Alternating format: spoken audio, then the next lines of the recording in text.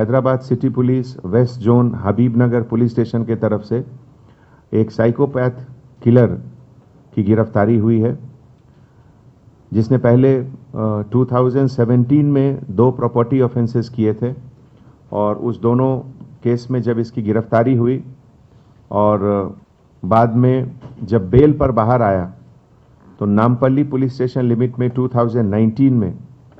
Crime number 311 by 2019 जो कि पहले 174 में बुक हुआ था और बाद में सेक्शन ऑल्टर करके 302 में उसको कन्वर्ट किया गया, जिसमें एक बेगर मुबारक अली थर्टी दिसंबर को उसका मर्डर हुआ। उस सिलसिले में ये 16 मंथ के लिए जेल में था। और फिर बाहर आए, आने के बाद अप्रैल महीने में एट्थ अप्रैल को ये बेल पर बाहर आया। और इस साल दशहरा के दिन हबीब नगर लिमिट में एक बेगर का मर्डर किया और उसके बाद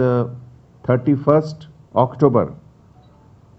के, के रात को दो मर्डर इसने किया। दोनों बेगर का है एक हबीब नगर पुलिस स्टेशन में पुलिस स्टेशन लिमिट में जो रफली 10:30 11 पीएम के लगभग हुआ और दूसरा नामपल्ली पुलिस स्टेशन लिमिट में जो लगभग तीन से साढ़े तीन बजे अर्ली मॉर्निंग हुआ। ये अक्यूज का नाम है Mohammed Qadir son of Mohammed Wahid age 48 years labour का काम करता है कभी कभी ऑटो ड्राइवर भी चलाया है,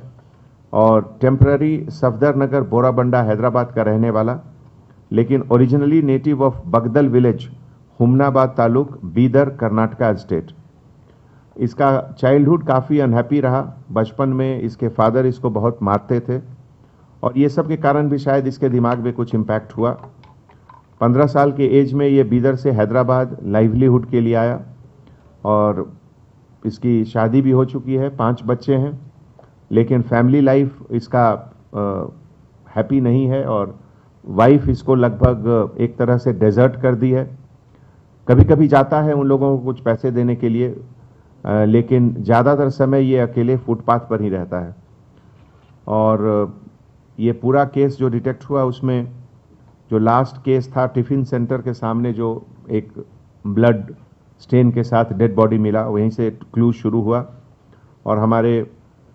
joint CP west zone A R Srinivas sahab के लीडरशिप में एसीपी शिव मारुति और उनकी पूरी टीम मिलकर ये काम की, जिसमें कि हमारे ऑफिसर्स खास करके एसएचओ नरेंद्र उन्होंने बहुत अच्छा काम किया और ये